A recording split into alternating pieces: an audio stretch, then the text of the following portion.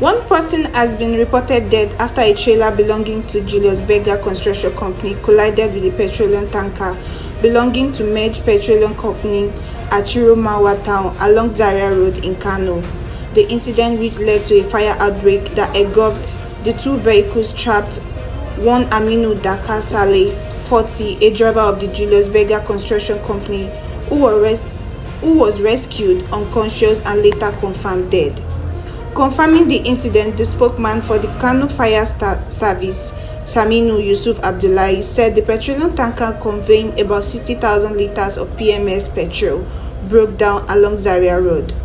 He said the trailer belonging to the Julius Berger Construction Company with the number plate ENG 878SB rammed into the petroleum tanker which ignited fire.